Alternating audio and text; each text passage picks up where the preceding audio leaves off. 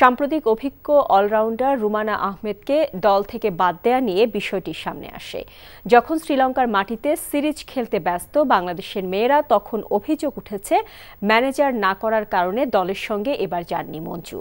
নারী উইংয়ের প্রধান বলেছেন বিষয়টি ঠিক নয়। রিপোর্ট বর্ষণ কবিরের।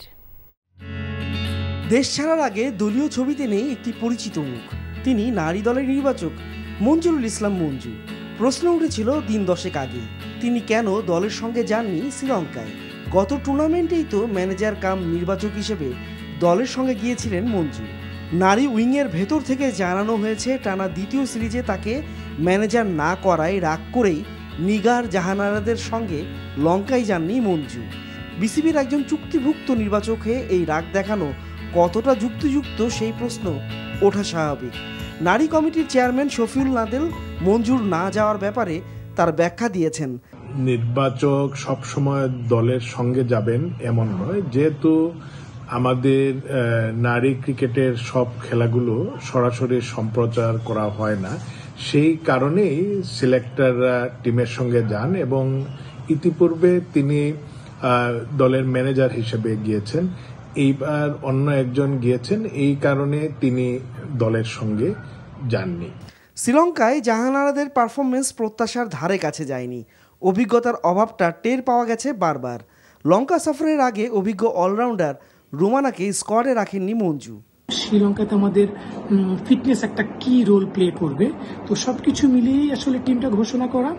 এ নিয়ে কয়েকটি গণমাধ্যমকে রুমানা খুব ভোরেই জানিয়ে দেন তাকে না জানিয়েই বাদ দেওয়া হয়েছে। যা নিয়ে রুমানাকে তলবও করা হয় বিসিবিতে। বাংলাদেশের নারী ক্রিকেট দলে এত ক্রিকেটার নেই যে চাইলেই শ্রীলঙ্কার বিপক্ষে পরীক্ষা নিরীক্ষা করা যায়। তাই রুমানা প্রসঙ্গে মঞ্জুর এই দৃষ্টিভঙ্গিও জন্ম দিয়েছে প্রশ্নের। মানবিক বিষয়গুলো দুষ্টুটি সেটা থাকতেই পারে। কিন্তু কারও বাদ যাওয়া বা নতুন করে যাদেরকে অন্তর্ভুক্ত করা হয়, সেটা বাদ যাওয়ার বিষয়টা থাকে মূলত ফিটনেস অথবা পারফরমেন্স অথবা ভবিষ্যৎ পরিকল্পনাকে সামনে রেখেই। নারী ক্রিকেট দলের এই নির্বাচক বিতর্ক পেছনে ফেলতে জাহানারাদের ভালো কিছুই করতে হতো লঙ্কায়। কিন্তু যুক্তির সঙ্গে মুক্তি মেলাতে যে পারফরমেন্স পারত এই অভিযোগগুলোকে পেছনে ফেলতে সেটা এই মুহূর্তে শ্রীলঙ্কায় অনুপস্থিত ক্রিকেটারদের মধ্যে।